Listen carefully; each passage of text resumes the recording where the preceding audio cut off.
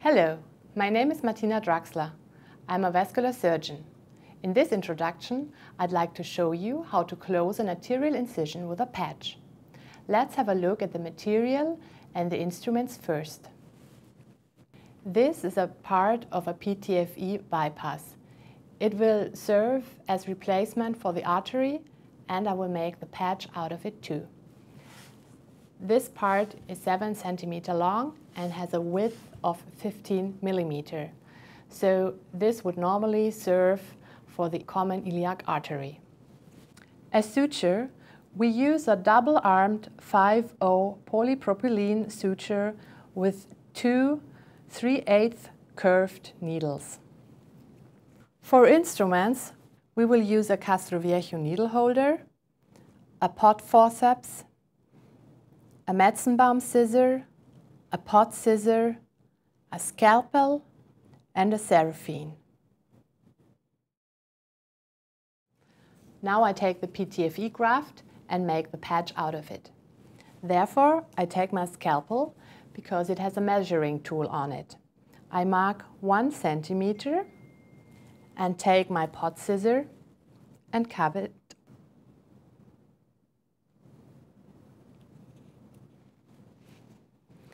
Then I open this part and I have my patch. The remaining part of the graft I put between the clamps and I'm ready to start. My assistant today will be Dr. Loay Kabbani. I take my patch and see how long the incision has to be. Now I make the incision into the artery. I take my scalpel in a 45 degree angle with the sharp edge of the blade facing up. Make sure you don't cut through the artery and lift the tip to complete your incision. Now I will extend the incision with a Potts scissor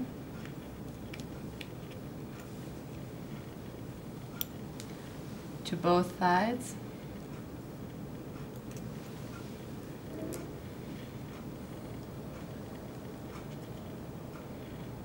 Make sure that the incision is shorter than your patch. You can always extend the incision, but you might have problems to sew in another patch. When you put the needle into the needle holder, make sure that you take it the way that two-thirds of your needle are in front of the needle holder and one-third behind. And put the needle into the needle holder into an open angle so that it's not 90 degree but around a 120 degree. When you do that, it will follow the curve of your wrist. Try to avoid touching the needle tip with the forceps or the needle holder. It can easily get blunt or even break. We start perpendicular in a wide angle in the patch from the outside to the inside.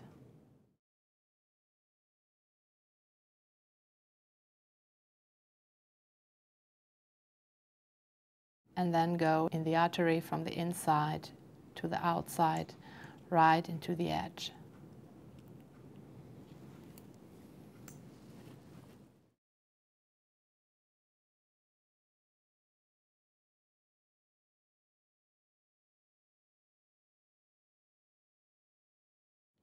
And we make the first knots so that the patch is attached to the artery.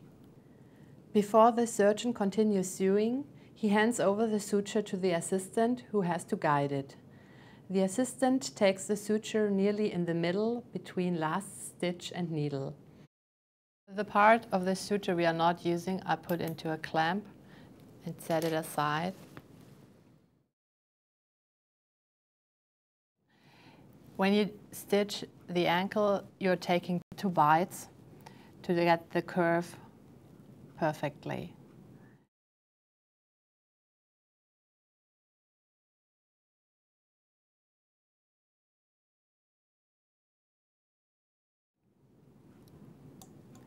You're always trying to adapt all vessel parts to the patch And by doing this biphasic, you won't miss one layer of the wall.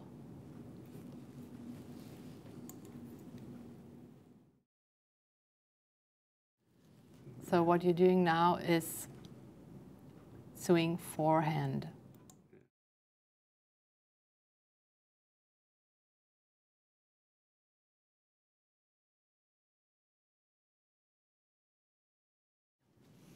For the assistant, when he retract uh, the suture, he always puts it in the line of the suture direction.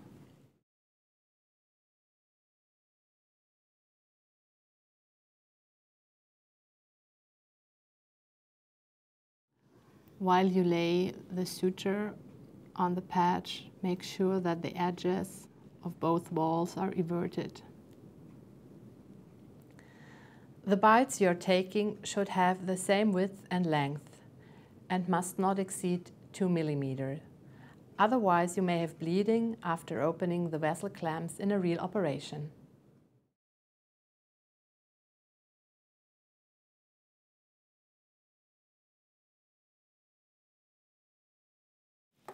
Now as we come to the end, I will adapt this edge in a semi-eclipse.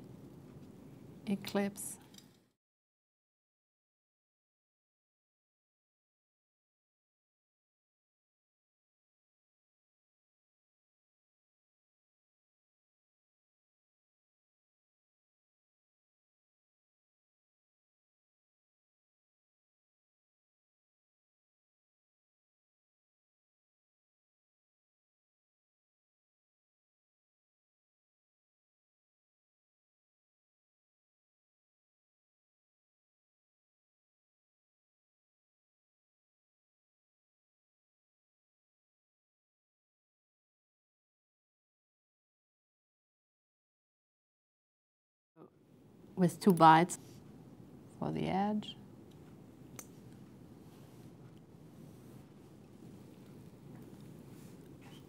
And then continue.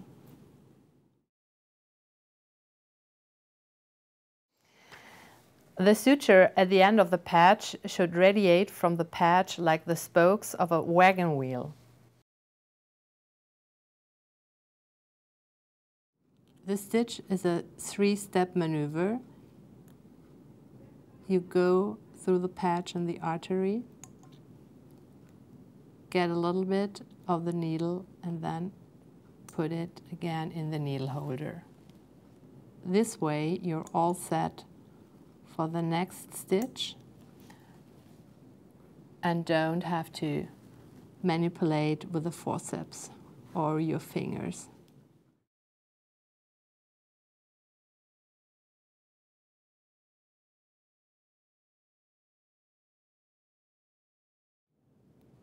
Now I will change needles and close the patch from the other side.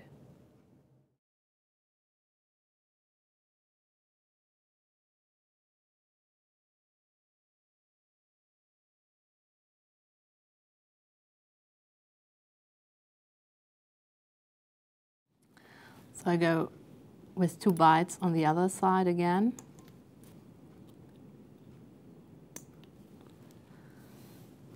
For one or two stitches.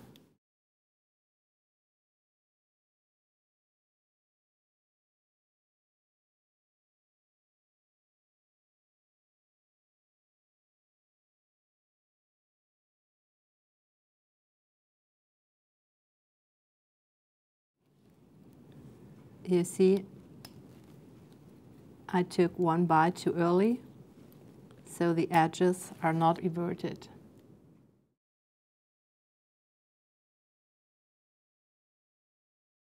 If that would happen um, with the artery, your, in, your adventitia will be inside the vessel and will cause thrombus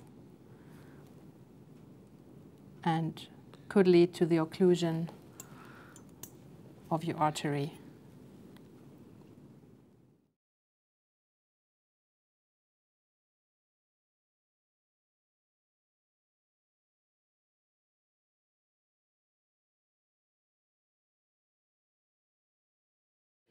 Now we are going to do the last uh, closing knots. I cut off the needle from one of the sutures just to make sure that I'm not getting poked by the needle. Do six, seven, eight knots all together. Don't forget to do both directions. And if you cut the suture, there should be at least about one centimeter left.